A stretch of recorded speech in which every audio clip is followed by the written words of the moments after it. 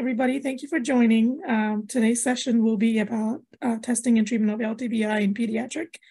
Um, so we have our speaker, Dr. Christina Fasia, who is a pediatric infectious disease specialist at St. Peter's Health System.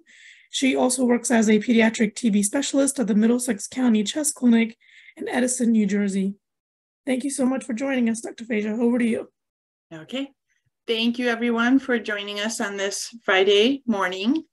Um, so I'm here to continue with this TB 101 series, and I'm going to talk about pediatric LTBI. Okay, new share. Why isn't it advancing? Try clicking on the screen or just um ah, got it. Got it. Got it. Thank you. Okay. So first we'll talk about why and how children are different than adults. Okay. One thing I'll say, I'm guaranteed to smile every single day when I work with children. So that's what makes my job so fun. Um, we're going to talk about who do we want to test for TB, what kind of test we want to use, um, the diagnosis of LTBI, how it's made, what treatment options we have, how we can educate parents, and how we can ensure treatment compliance, as well as I'll talk about some uh, few slides about window prophylaxis, and I'll also go over some cases. So firstly, a little bit of epidemiology, because this came out recently. So as everyone probably heard, the TB cases came down in during COVID. So from 2019 to 20, 20% drop, um, and then it went up a little bit, but still it was 13% down from 2019. And in 2022, which is the latest data, it went up by 0.4%. We know that there's about 13 million people in the United States living with LTBI, okay? And the reason these cases went down during COVID, we think, is because of missed diagnoses, delayed diagnoses, and also changing um, migration and travel patterns. So here, these are actually the numbers in less than four-year-olds so from 2021, 160, it went up to 202 cases in 2022, which is actually a 26% increase. And anecdotally, I know for sure this number is going to go up in 2023 just based on the number of cases that we're seeing. Um, so I have a feeling in 2023, this number will definitely be higher. So it's important to know about pediatric TB. For those of you not from New Jersey, just so you know, New Jersey is uh, considered a higher incidence state among the other states, usually along with Texas, California, and New York. And then within New Jersey, I'm at the Middlesex County TB Clinic, which as you can see is one of the two highest incident TB regions in or counties in New Jersey. Okay, so I know you guys have some lectures before on LTBI, and basically diagnosing LTBI is sort of the same criteria in children as it is in adults. So you need a, some kind of positive TB test. You need a normal chest x-ray or just evidence of healed, so nothing active. And you need to make sure that there's no active disease. However, I just want to emphasize that children are definitely not small adults. Okay, so you can't treat them as small adults. And the reason for that is one, just based on their age. So, just by being less than four years of age, that is a risk factor for developing disease once you're infected, along with recent infection. So, within past two years. So, if you have a toddler that's two years old, you know they're going to be infected in the last two years. And then, as you probably heard, medical conditions can also predispose to developing disease like Hodgkin's, um, renal disease, diabetes, malnutrition, and different kinds of immunosuppression as well. So, just as a note, latent TB infection in a child should be considered a sentinel event for recent transmission. Okay? Kids get primary TB and they get it from an adult who's infectious. So if you find a child with who's infected, you know that they are around some adult out there that is um, coughing or having TB disease and is contagious. Okay, so if you look at the general population, we know about 10% will develop disease during their lifetime once they're infected. half of those people will develop the disease in the first two years after infection. However, if you look at children, and you look at this table, starting with infants, 50% of them will develop disease. Okay. Most of them will be pulmonary TB, but 10 to 20% will be disseminated or TB meningitis, which can be fatal. Then the toddlers, one to two year olds, still 10 to 20% for um, pulmonary, less for meningitis. Two to five is about 5%. And then there are these safe school years between the age of like five to 10, where luckily there's somewhat lower risk. But then once they hit puberty, especially girls, have an increased rate of TB disease as well, although they tend to have more adult type um, disease or like pulmonary effusions, but up to 10 to 20%. So this is the crux of pediatric TB. Okay, these risks um, are why we jump on little kids who are exposed and who are infected because we don't want them to develop disease. This is just a great diagram from, I think it's like the 1930s, um, where I wrote a, like this red line is where your TB test turns positive.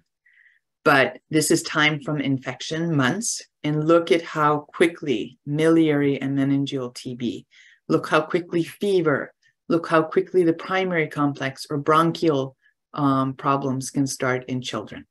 Okay. So if you have this in your mind, then that's the first step. Um, just to go through a case. So this was a few years ago. I had a nine-year-old who came to my pediatric ID clinic. Um, the pediatrician had done a 10 millimeter TST or a TST that was positive, 10 millimeters, and it was previously negative. Chest X-ray was actually abnormal right hilar adenopathy. The kid was born in India, but moved to the US when she was four, and she went back to India just to visit two years ago. Father said completely healthy, no symptoms, and when I examined her, she was completely fine. Exam was normal. So it turned out that the mother um, was actually in the hospital with smear positive cavitary pulmonary TB. She had had months of dry cough failed multiple courses of antibiotics, sort of the usual um, story. And she ended up in the hospital because she was having hard trouble or hard time tolerating her medicines. Father had already been tested. He was 10 millimeters on the TST. His chest x-ray was pending, but he denied any kind of cough. And this whole time I'm sitting there, there's the nine-year-old, there's the father, and there's a little boy sitting next to him in the office. And he said, who's that? Oh, it's the four-year-old brother. I said, Well, has he been tested? No, no. So it turned out he was tested um, two to three months ago from some other reason. So that was negative. But since this whole ordeal happened, he had not been tested. So we registered him straight away. Luckily, got a chest x ray, and that was already positive. Sorry. So that was already positive, already had hilar adenopathy right in here. So the good news was he came to the, or we found out that there was a brother as well. Both the sister and brother were started on TB medicines and completed their six months and did absolutely beautifully. So, just as a lesson, you always have to ask about siblings, ask about cousins, and other contacts, especially the little ones. Okay. And if you don't ask, they may not tell you.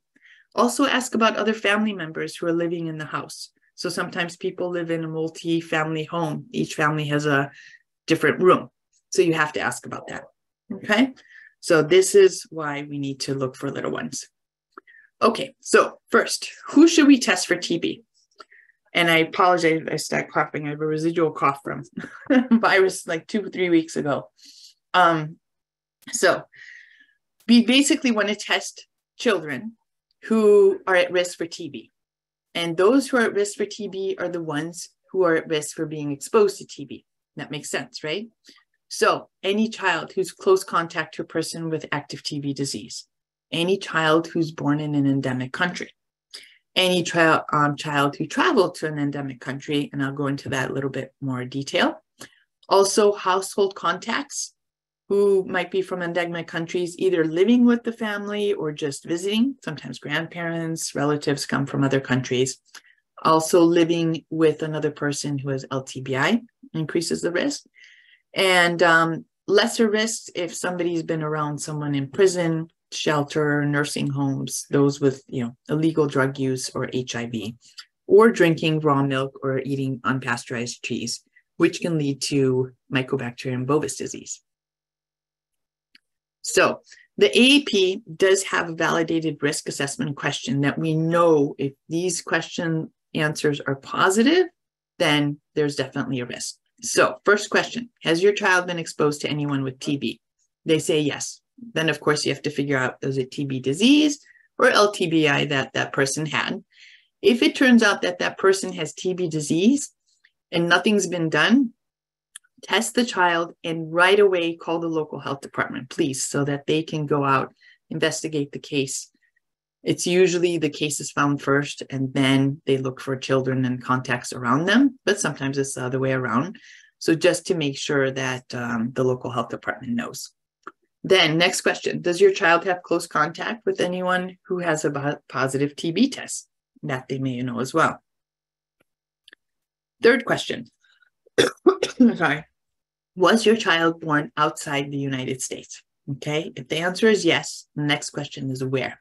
Okay, basically, the entire world is endemic for TB except US, Canada, Australia, New Zealand, and Western and Northern Europe.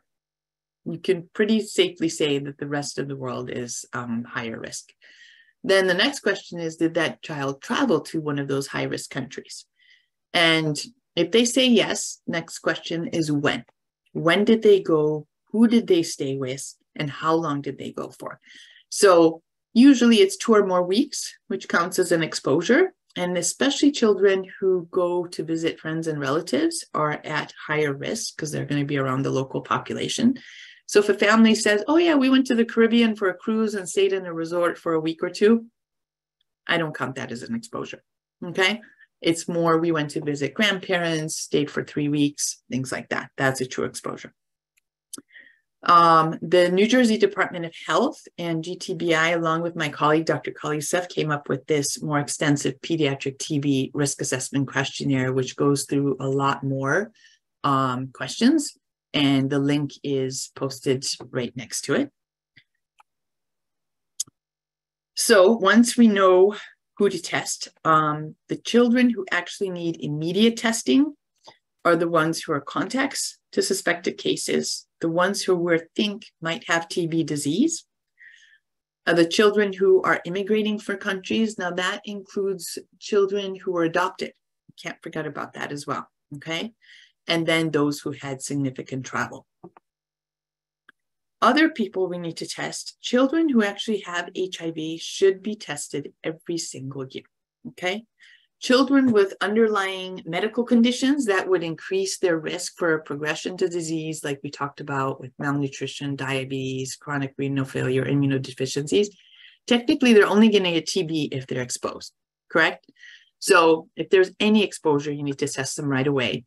And sort of a separate category here is if you're about to start immunosuppressives, prolonged steroids.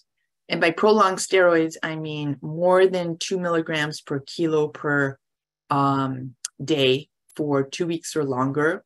Also, if you want to convert that, it's 15 milligrams a day.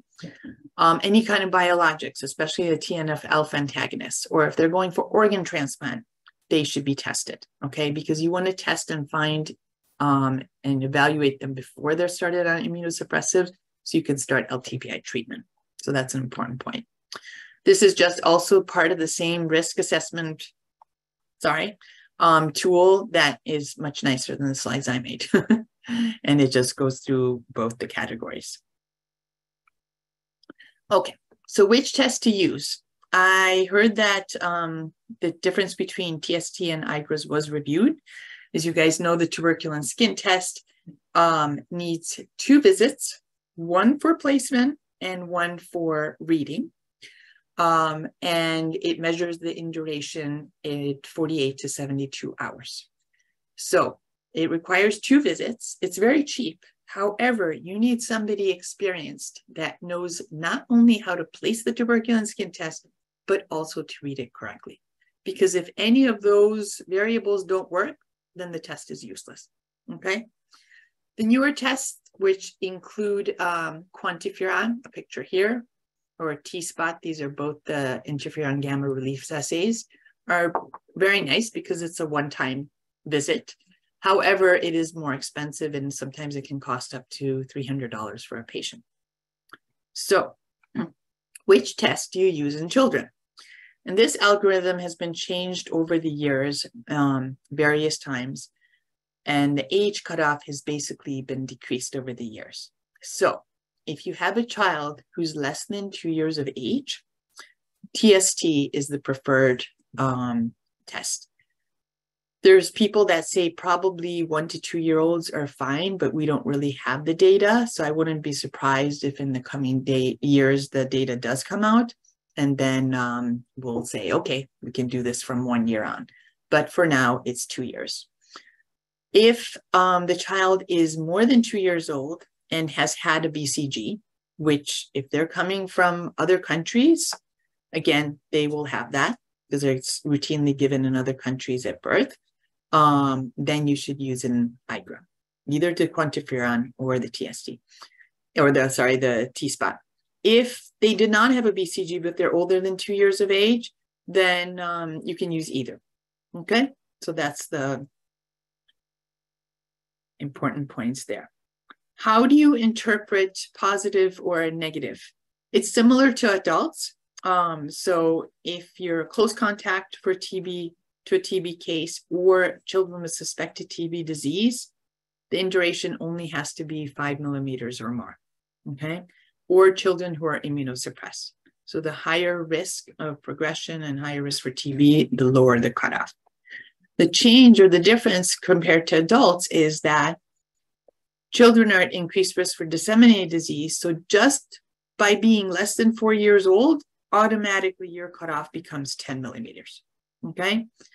Uh, then that group is also included kids with other medical conditions and children or adolescents who are born in other places, travel to other places, um, or have been exposed to high risk adult individuals.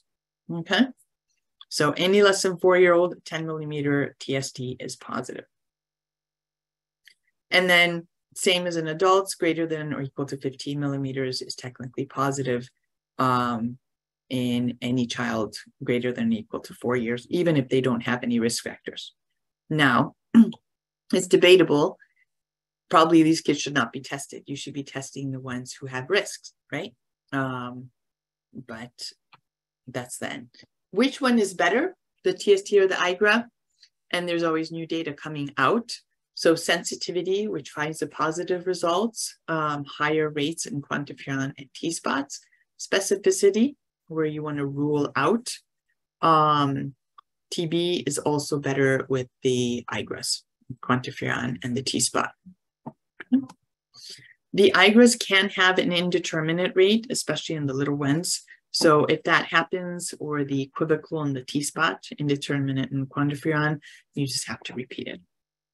And I usually take about a month before I repeat that. Okay, so you know your TB test, whichever one it was, is positive. What is the next step? Okay. So this is part of your diagnosis of latent TB. So next you have to get a chest x-ray on these children.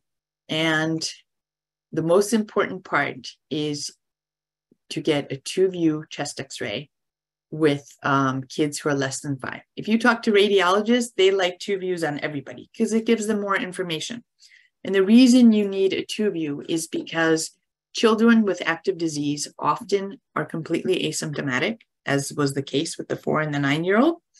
And all you can see sometimes is hilar adenopathy, which is more easily picked up on the lateral view than on the AP view. So that's why if you order a chest x-ray, especially on the little ones, always get a two view. Second thing is I always look at these x-rays myself and I always review them with a pediatric radiologist. I'll take it one step forward review it with a pediatric radiologist who has some experience with pediatric TB. Okay, because it's not that common and some people don't have it. Um, but it's that's the most important. I've had many, many chest x-rays that were read as positive by adult radiologists. And when we read it with the pediatric, it's normal, or vice versa. Read is normal and it's actually abnormal. So um, of note, calcifications or granulomas are considered non-active and can be treated as latent TB. The next thing is no signs or symptoms of TB disease, i.e., you need to get a very thorough history for symptoms. So especially the little ones, right? How do you get TB symptoms in a in an infant? Often they're not coughing, um, but irritability, fevers, not eating.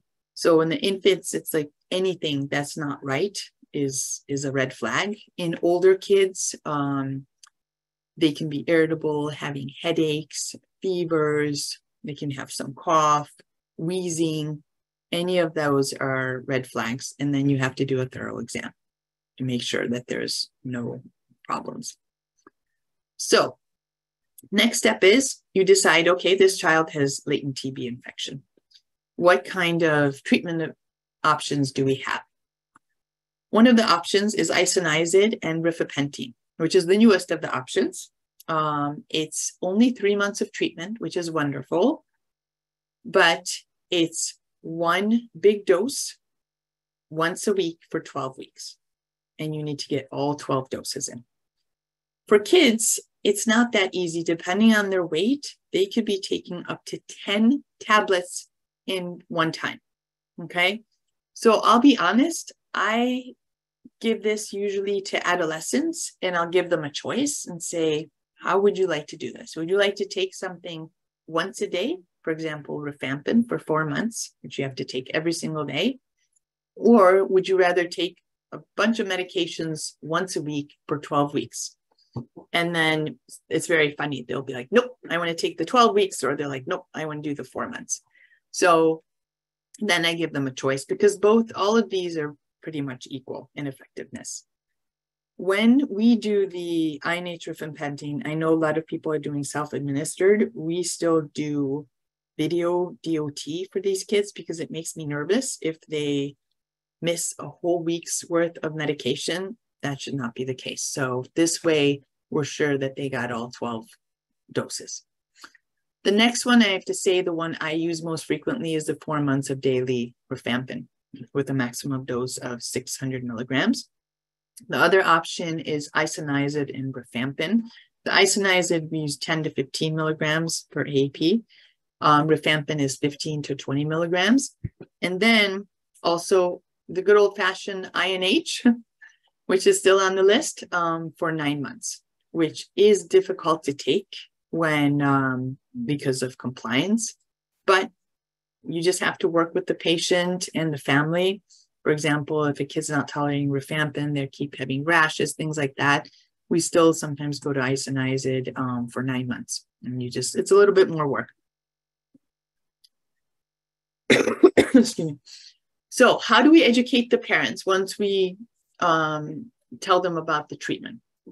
So first of all, use a translator. Okay, always use a translator to make sure that you're talking to the parents in their native language and they understand everything that you're saying. First, I always review what the reason is for the treatment. Okay, um, I present it as a sort of a optimistic view in the sense that you know we're treating infection because the child is well now and the reason we're treating an infection is so that later the child does not become sick. And if you become sick, then you actually have to take four drugs instead of one. I know rifampicin, INH two. And three to four months of medication is much better than taking four drugs for six to nine months. So when you present it in a simple, matter of fact way, that you are here, the child is well, they have infection, and we're just going to treat that, I would say 99% of parents agree. Okay. Once they understand the reason for the treatment, then I go over which regimens. And as I explained already, like adolescents, I'll give a choice. Um, right now, just to, I think you guys know probably that there is a severe shortage of INH, at least for the Department of Health. Um, I think we can still get it from the pharmacies. So sometimes drug shortages also play a part into which regimens we recommend. Um, for rifampin, I always ask about contact lenses because they can be stained by the reddish fluid. Um, also, rifampin should be given on an empty stomach. Sometimes it can cause a little bit of GI upset, so it's easier giving before bedtime, things like that. So it sort of depends on what works with their um, lifestyle as well. So let's say they depend, they say, okay, we'll take four months of rifampin. Then I go on to review the side effects. And of course, with rifampin, the first thing I always say is that the tears, urine, body fluids will turn orange, and that's completely fine. Because if you don't tell them that, you send them home, then they're going to be calling out you in the afternoon or after the first dose, all freaked out. Okay. Because they won't understand why the urine is a darker orange color. I also remind them that if there is another doctor that wants to start a medicine, they have to tell them that the child is on rifampin because rifampin will interact with other medications. Teenagers, if they're on other oral contraceptive pills or something, the rifampin can decrease the effectiveness. So you have to make sure that um, they're aware of that and use some other form of birth control.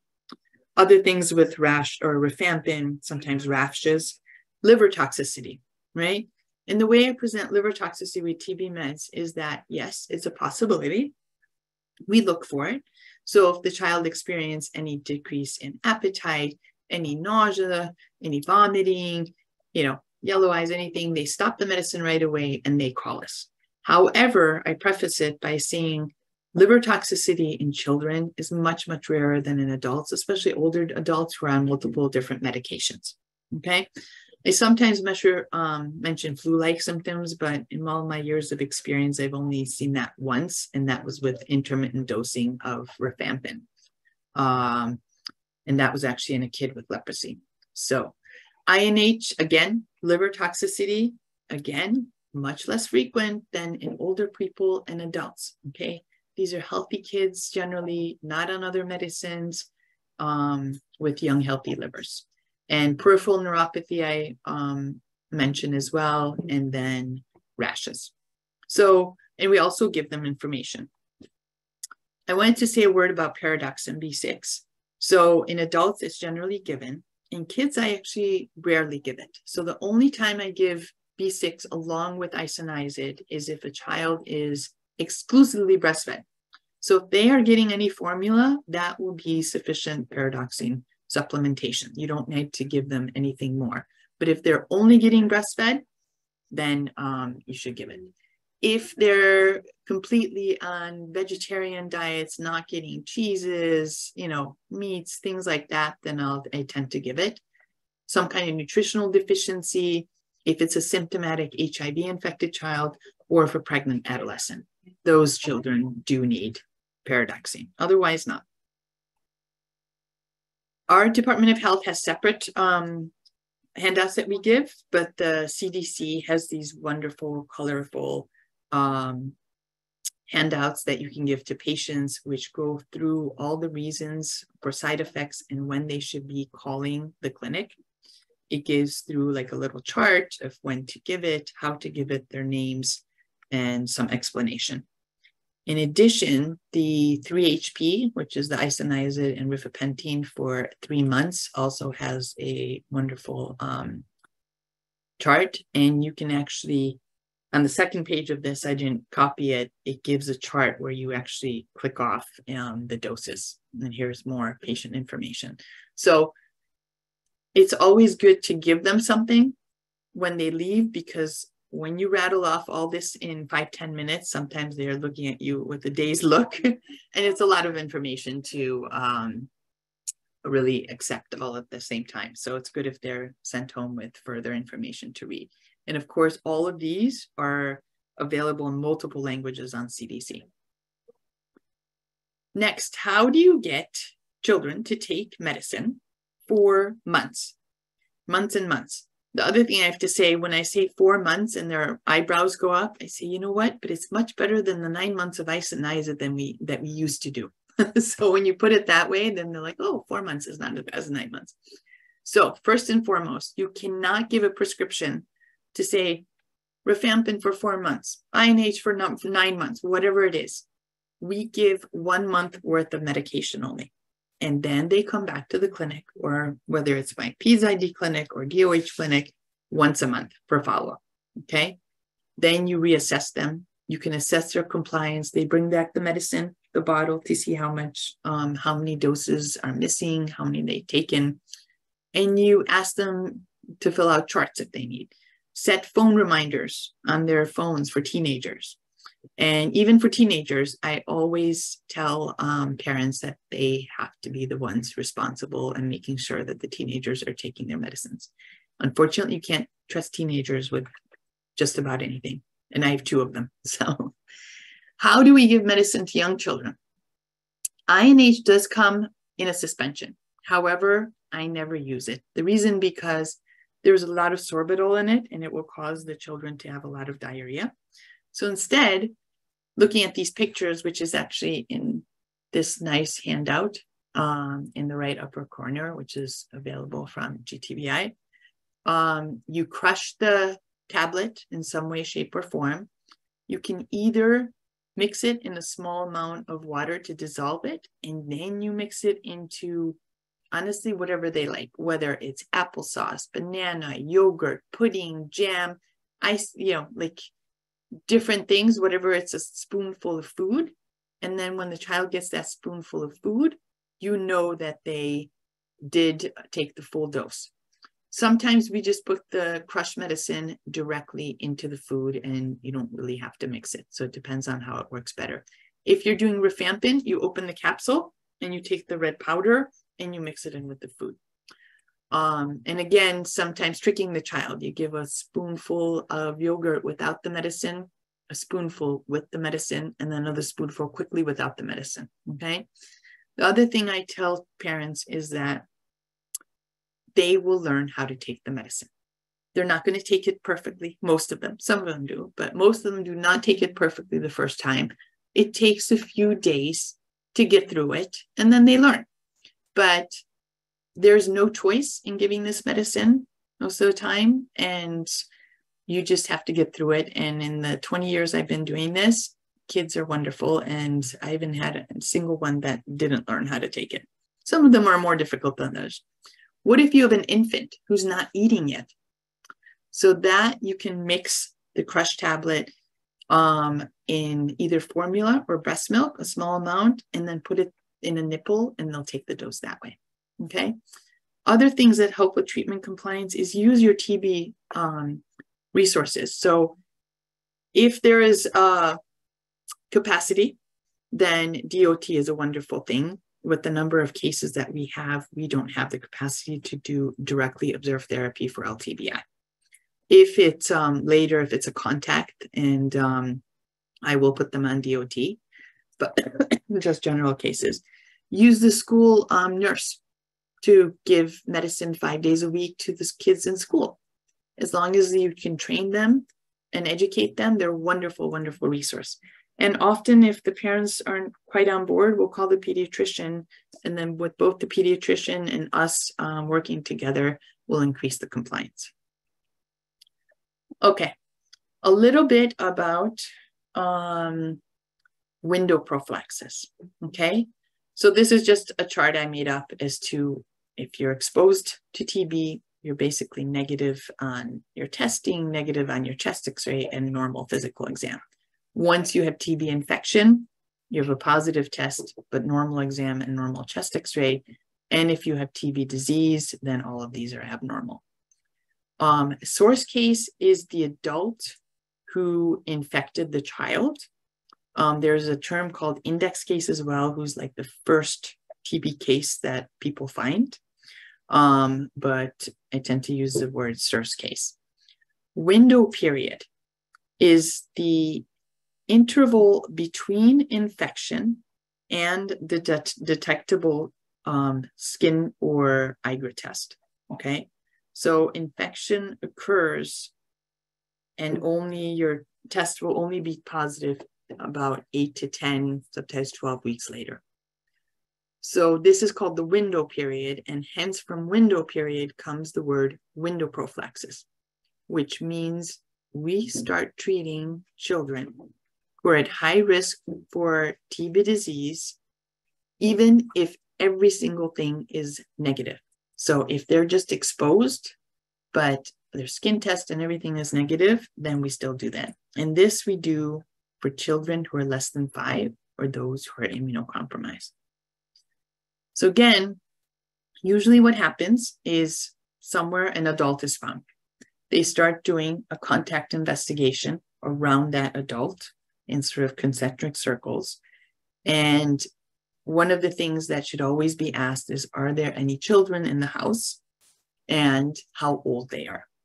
And sometimes this does not come out on the first ask. Sometimes it comes out on multiple visits and most multiple episodes of questioning, especially if um, parent or patients are reluctant to tell, you know, who they're living with, or they might be undocumented, things like that. Sometimes it takes multiple tries.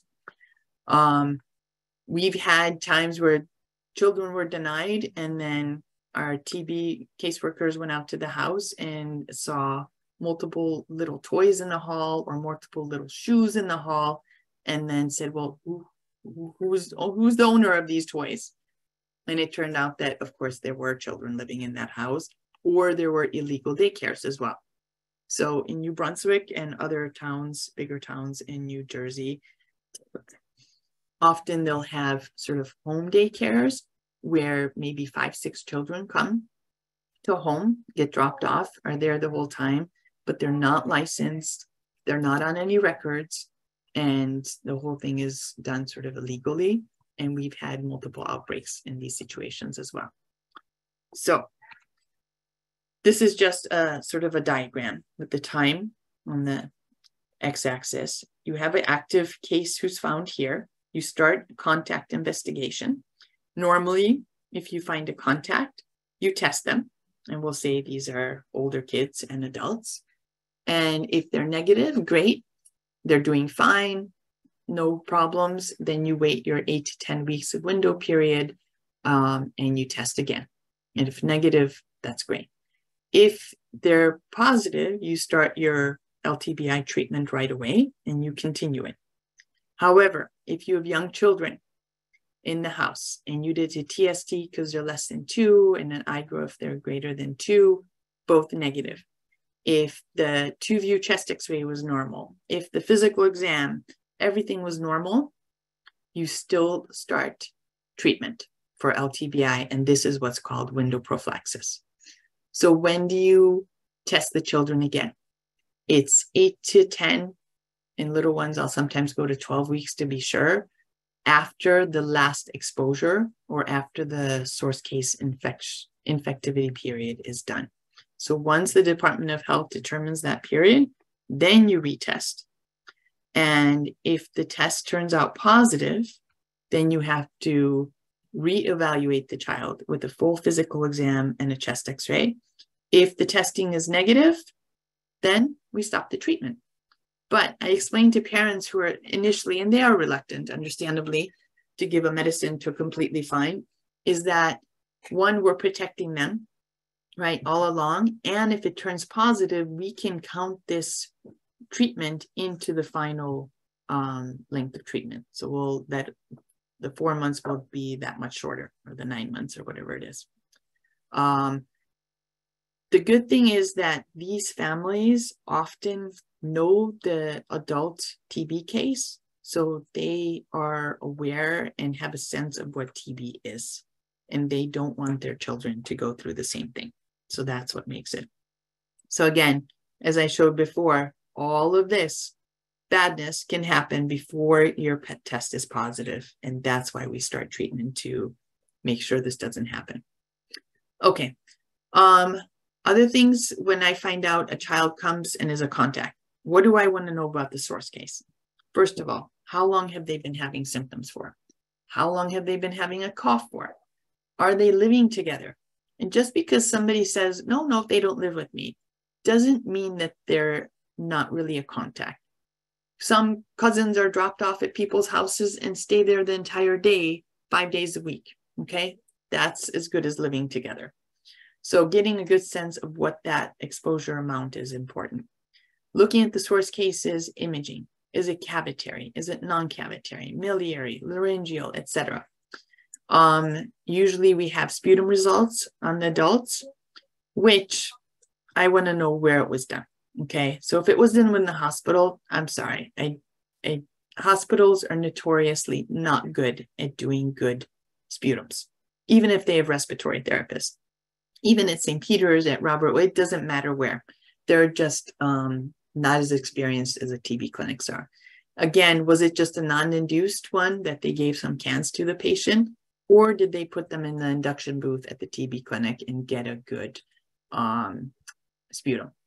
We know that cases can be sort of varying degrees of contagiousness over time. So sometimes they're more contagious, sometimes less, and their positivity on the sputum can um, vary. Also, there's some data that sometimes the highly smear positive cases are actually so sick, they're hard for them to cough vigorously. So just because they're not coughing a lot doesn't mean that they're um, not contagious. And then when was their treatment started and how they're doing. Okay. so the AAP Red Book, which is sort of the ID Bible of um, the pediatrics, um, has evolved over the years. So regarding on what to start for window prophylaxis, before in 2012, it was less than four-year-olds and used isoniazid. Then it became less than five-year-olds and you treated with whatever, but you stopped isoniazid. So now the latest iteration, they don't talk about which regimen you start. They just say if a child is a contact and less than five years old, you should try you should do presumptive treatment. So the reason this is TBI is the Red Book advocates to use the terminology TB infection because sometimes latent makes the people think that it's not quite so serious. CDC and um, most other people are still using the latent TB infection terminology. So both of them mean the same thing. Which one um, do we start? So we're not going to start INH and rifapentine with all those doses of medication in young children. Um, daily rifampin is an option, daily isoniazid, especially in young infants where we know INH gets into the brain better and probably um, prevents you from getting, or in my mind, prevents you from getting TB meningitis better than rifampin. Possibly INH or rifampin, although I generally don't use that. So I've evolved over the years as well. Initially, I would use INH in all less than four year olds. Um, and then with time, we've actually gotten down to using isoniazid in the less than two year olds. Again, they're the ones who are at highest risk for TB meningitis. Okay. And then if they're positive, then possibly finish with rifampin. Um, with the two to four year olds, I'm comfortable now starting on rifampin unless there's an issue with dosing them because you need the higher dose range for the rifampin. So if that doesn't fit with their weight, then I'll start on isoniazid. So that's just my practice. Window prophylaxis definitely works. So Dr. Starke and Dr. Cruz reviewed their data from Texas on 752 TB exposed children. Their median age was two years old, and about 41% of them resided in the home of the index patient, and most of them were smear positive. So, again, it was well accepted by the families because they had an experience with what TB looks like.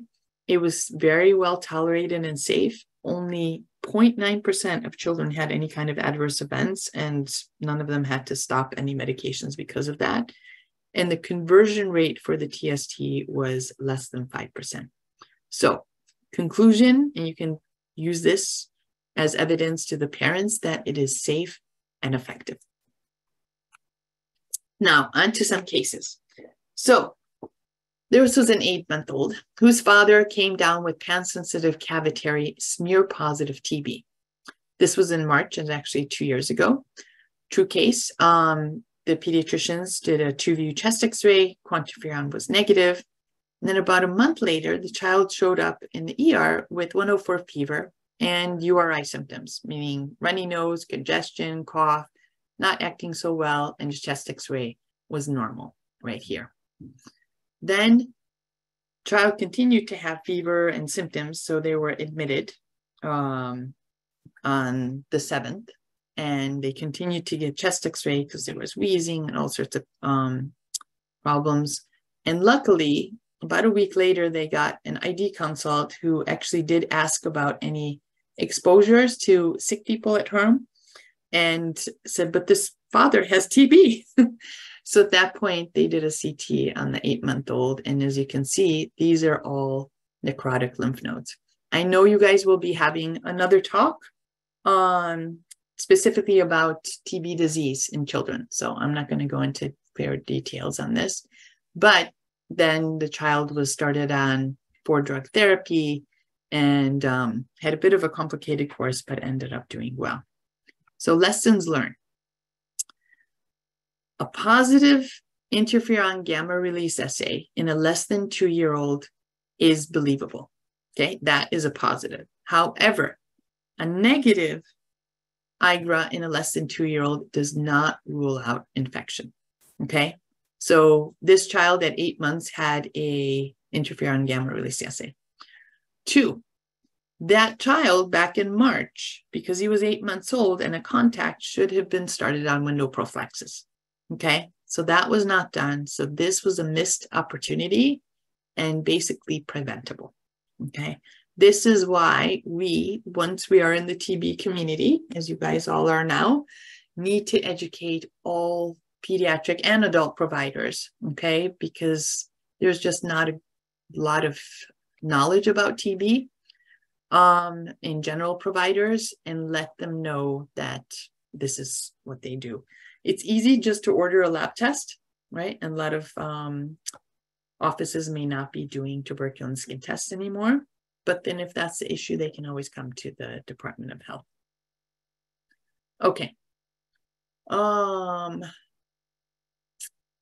this one, okay. So the the slide is out of order, but let me, this was a true Monday morning call to our clinic back in October. A woman called us to say I think I have TB. And our TB nurse said, um, Excuse me? what, what, why do you think that? So it turned out that mother had COVID in July and had been coughing since July.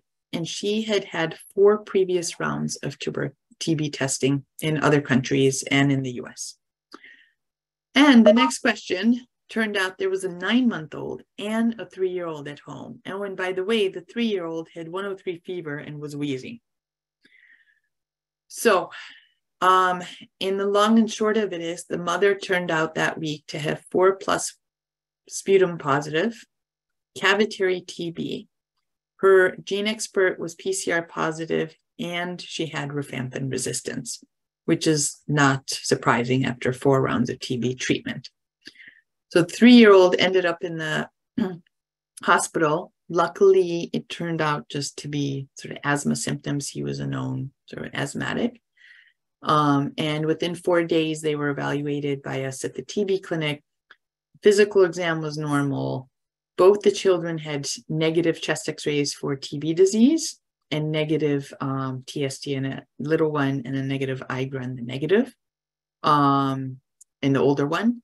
And it turned out that the father and maternal grandparents who were living in the house were all negative. So now back to what would you guys do? So you have a nine month old and a three year old who are exposed to MDR TB disease in the mother. Would you guys start INH since we know rifampin resistance is detected? We're assuming it's MDR. Um, start PZA and ethambutol. Start nothing because everyone else is negative in the house so far, or start nothing because you need more information on the mother. So put in your answers.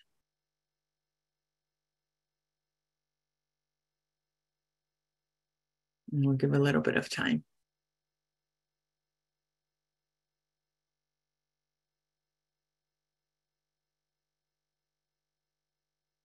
Okay, about halfway through.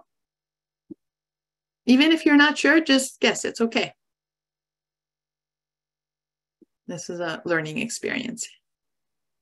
Dr. Faye, I just shared the result. I stopped the poll. Perfect. Okay.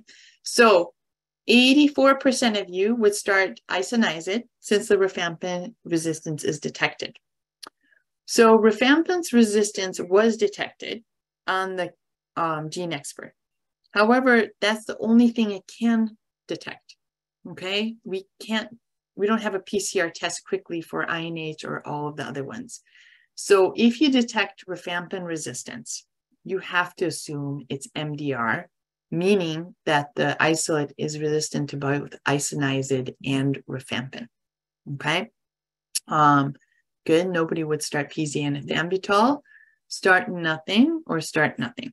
Okay, so what I did, I do this. Oops, here. Everyone saw that. Okay, still stop there. So, mm, what we did is basically started nothing because we needed to know what kind of MDR the mother had. And it was good because it turned out that she had resistant TB, not only to isoniazid and rifampin, but also to ethambutol and actually PZA turned out to be resistant as well. Luckily, she was sensitive to fluoroquinolones and sensitive to injectables, which we're not going to give shots to these kids. So we were able to give um, levofloxacin which is a fluoroquinolone, to both the children's as window prophylaxis. Within three days, the older one with the history of asthma was admitted to the hospital with respiratory distress, ended up getting a dose of um, steroids in the ER, and when we tested, had already converted to positive. So this, the three-year-old ended up having multi-drug resistant LTBI. The nine-month-old remarkably remained negative and we were able to stop the window prophylaxis. And it turned out because usually the infants are with the mothers a lot. So how, how was this infant not infected? Turns out that the maternal grandmother was the one who was with the infant more because the three-year-old wanted to be with mom. So that's how the nine-month-old um, stayed safe in the end. So that's just a little bit of unusual case one other thing, looking back at ER records, this mother showed up in a pediatric ER back in September. So, like three weeks before our TB clinic was called, or about a month before it, and told the ER provider that I'm worried that my three year old has fever because one of our relatives is being evaluated for possibly TB. Okay, which was her essentially. Did the TB or did the ER tell anybody? No. So if anybody anywhere hears about a child who has a contact to anyone with possible TB, they should at least call the ID doctor and call the Department of Health. Okay, because we could have been three to four weeks ahead of the game with this. So in the end, it was a missed opportunity. And unfortunately, so we need we know TB in children is preventable. So the way they get TB is that we miss opportunities either we fail to find um, the adult source cases, or once they're found, they're not reported in a timely manner, or they're found, but the contact investigation doesn't reveal kids in the um, house, or they just don't get all the inter- uh, all the necessary information. Also, delaying the children who are exposed. So once we hear about these contacts, we get them into clinic ASAP um, because you don't know where they're where they are along the spectrum. Um, if you don't evaluate the children completely, if you don't give them window prophylaxis, these can all lead to TB infection. And then also, if TB infection is diagnosed but not treated, of course, that can lead to TB disease. And then if you don't complete your TB. Um, and we have three minutes, so that's perfect. So take home points. I actually found this on the CDC website, which is so true. If you do not think of TB, you will never diagnose TB under any circumstances. So that's why this sort of mantra with think, test, and treat TB is, I think, very, very poignant. Um, again, you should be testing for TB if there's risk factors or symptoms. Make sure you do the appropriate testing and do the TST by the right people, okay, people who have experience. In less than five year olds, definitely do two view chest x rays. Make sure you review it with the pediatric radiologist. Get your own history, okay? And again, TB in a child is a sentinel event. So you have to look for the source case, okay? And look for more siblings and contacts. And essentially, we should be treating all LTBI in children. I always tell the parents too, they have a long life ahead of them. Do I necessarily tell them that it's only 10% chance that they'll get it in the older ones? and the younger ones, I say it's a high risk. Not always, because again, we need to treat these infections so they don't turn into um, disease. And then lastly, remember window prophylaxis, um, optimizing compliance. So use the Department of Health, your TB clinics, and other pediatricians and school nurses as resources. Okay, I think that's it. So I'll stop there if there are any questions and I'll stop sharing the slides. Thank you, Dr. Feha. It's great to see you. oh, hi, Patty. How are you? We do have some questions and we actually have some questions from um, a talk from last week we saved for you. Oh, okay. I'm going to start with the, this question. Um, for a one-year-old, is T-spot recommended? And I think the recommendation is no under two. Correct. Would you? Correct. Maybe more. so the IGRAS, we basically just don't have enough data. Um, so less than one year olds, absolutely not. Um, and less than two year olds is not recommended yet. However, there are some people who say, you know what, we have some experience and it's probably okay. So the way I look at it, if I have a kid who I'm suspecting TB disease in, if the tuberculin skin test, and let's say they're one year old, if a tuberculin skin test is negative, I'm not stopping there. I'm going to do every test there is, including IGRAS, because if you do come up with a positive test in a less than two year old on a T spot or a quantiferon, you're going to believe that test. It's just that a negative test does not rule out infection. Does that make sense? Hopefully. Yes. Thank you. Okay. And I know um, on August 18th, we are going to have another talk about treatment with TB, but there is a question that I guess maybe we can um, talk about now, and we can also review it in the 18th. But if you have an active case, a child, um, and they're excluded from school until therapy is complete, or when will it be safe to return to school? Okay. Um, so this is a child with active TB. Yeah. Okay. So in general, children less than 10 with active TB are very, very rarely infectious. Their force of cough is not strong enough to spew the TB bacteria all over. Um, often they have only hilar adenopathy and no lung disease, so no parenchymal lung disease. Um, so they're really not infectious. Do I put these kids in isolation when they're in the hospital? Yes. Is it because they absolutely need to be? No. It's because I'm just can't stand all the questions from everybody 500 times a day as to why this child is not in isolation. But um, if a child has been, let's say, just has hilar adenopathy and has no symptoms and there's nothing else going on, I, I'll clear them to have them go back to school. If there's any question, then you can keep them out of school for a couple weeks. And after they've been on treatment for a couple weeks, then they can generally go back to school. But again, teenagers are different. Teenagers are more like adults and they can be positive for a while. So if they have sputums, then you should follow them and do the adult protocol where you need three negative sputums in order to go um, come off isolation. But the vast majority of children are not. And I know some schools even exclude if they just have LTBI, which is should never be the case. If they just have LTBI, they should be going to school. Okay. Does that make sense? Yes, absolutely. I agree. Um, right, let's see, this was, this was, um, I think, well, I think you covered this, um, but the question was, um, does the recommendation of LTB regimens change for pediatric cases? And I don't think when you went through it, you know, the first recommendations were rifapentine and then the shorter course therapy. So um, I don't know if they have anything you wanted to add to that, but I think that was covered. Mm -hmm. Um, and then there's another question, and whoever asked that question, if you have you know additional questions to that, or if it wasn't covered, please feel free to put it in the chat.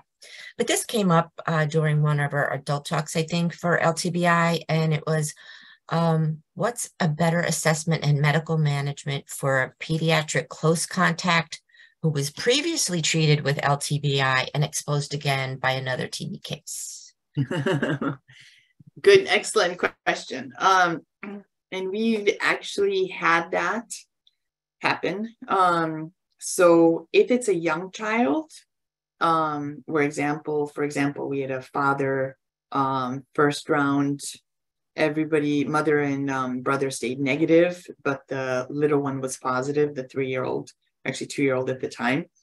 Um, so we gave a course of LTBI treatment. Then father turned positive again. And when we reevaluated, the mother and the brother actually turned positive. So in that case, I at least do a repeat evaluation of the young child. For example, that child was then three years old. So I would do a full exam, full um, chest x-ray again, and then probably, depending on the case, um, maybe restart therapy um, until we know that that child is really not at risk. Or for example, this child that we had was TST positive a year before, but then was quantiferon negative at um, three years of age. So it brought up this whole dilemma as to whether the TST was false positive the first time around. Um, but long and short of it is, you should reevaluate that child again um, to see if there's any evidence of TB disease and in young children, I'm always conservative. So if there's any question, just restart your window prophylaxis, okay? So this is the reason that TB is fun, because it's never, ever boring because of cases and questions like this. Yes, absolutely. And um, just as a sidebar, if anybody has any other questions, please put them in the chat. But um, just wanted to go back to when you were talking about the child that's on Levaquin, that it is available in liquid. yes, thankfully. Thank you, thank you, thank you. if, so of note, we're I'm seeing more MDR LTBI this year than I have, I think, ever before. So we definitely, our MDR um, TB cases are going up and hence our contacts are going to go up. Um, levofloxacin is very difficult to get for kids less than 10 um, on the outside because, or even sometimes older, the insurance companies just say, oh, nope, fluoroquinolones in kids, absolutely not. You need a pre-authorization. And then even with the pre-authorization, sometimes they don't give it. So it's a quite a um, tenuous process. So it's absolutely wonderful. Thank you for getting the um, levofloxacin at the Department of Health because then we can start these contacts on treatment sooner. And keep and them the other medications, if they don't come liquid and you have little ones, you'd have to find a compound pharmacy. Um, is the pediatric age limit to use fluoroquinolones for LTBI treatment in children? I think, uh, is there a pediatric age limit? No, so the bottom line is no. If that if you have an MDR contact and levofloxacin is the best drug and the only drug you can give, I would give it to a two week old. I it doesn't matter. You need to make sure and do everything possible to keep that young child from getting TB disease because then it's going to be much more difficult to treat. Yes, we don't like to use fluoroquinolones in kids um, or anybody for that matter, because it has a bunch of side effects. Um, everybody worries about like cartilage issues. The cartilage issues were found in beagle puppies, not in human children. So um, I've used fluoroquinolones eh, for many, you know, reasons and many young children, and they tend to do very well with that. But use it with good reason, just not haphazardly. There's one more. Wait actually there's one before that one. If you have a child two years old positive hiv negative igra chest x-ray in Nigeria in September 22 was abnormal with no hilar involvement, classified B1, child adopted and entered US in May of 2023, ID physician following child, IGRA in May 2023 negative, no follow-up chest x-ray performed per ID physician recommendations, no treatment. What would you suggest for this child? Now they, they're HIV positive. Yeah, I would definitely get a chest x-ray. Um, so, you know, again, um, what was done in another country is sometimes difficult to decipher. So I would want to do a chest x-ray here, a two view chest x-ray and review that chest x-ray myself. Because again, in an HIV child who may or may not be on medicines, um, if they're not on medicines, then they're definitely immunocompromised. Uh, negative IGRA is not going to um, be enough to say that that's not TB. So I would definitely do further evaluation on that child. And I do see, okay, so um, not sure if I understand. Uh, the index case is MDR. What LTBI treatment will you use for window prophylaxis for the LTBI treatment in kids and adolescents? Okay, so most often recommendations use levofloxacin. However, I generally wait um, to start even window because I want to make sure that that isolate is sensitive to levofloxacin.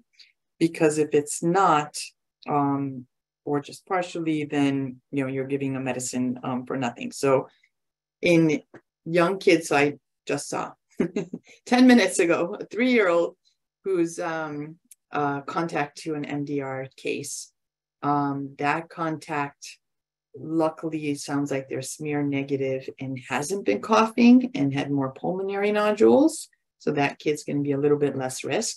But what I do is I keep testing them and keep following them closely um, to make sure that there's nothing developing. And then once the um, drug resistance testing is back on the case, then we start, if levofloxacin worked, we start levofloxacin right away. Um, if it's, yeah, so that's what I've been doing. Would I start levo if it was a very, very high risk case? Possibly. Yeah, so each of these cases are sort of based on case by case. That's so true. They really are.